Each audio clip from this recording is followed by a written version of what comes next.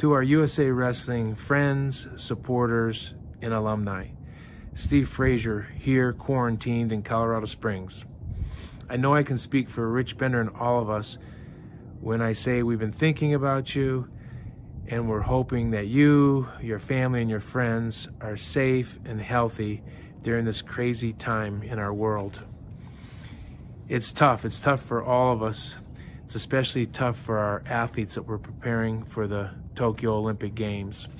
Just know that USA Wrestling is going to continue our support to all of our athletes during this crisis and we're all confident we're going to get through this very soon.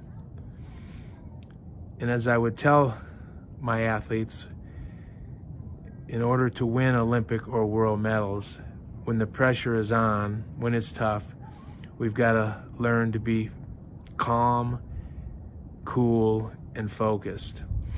So I'd encourage everyone at this time to be calm, cool, and focused. And before we know it, this difficult time in our lives, in our country, in the world is going to be done. Thank you again for all the support you give to USA Wrestling. We so appreciate you. Peace.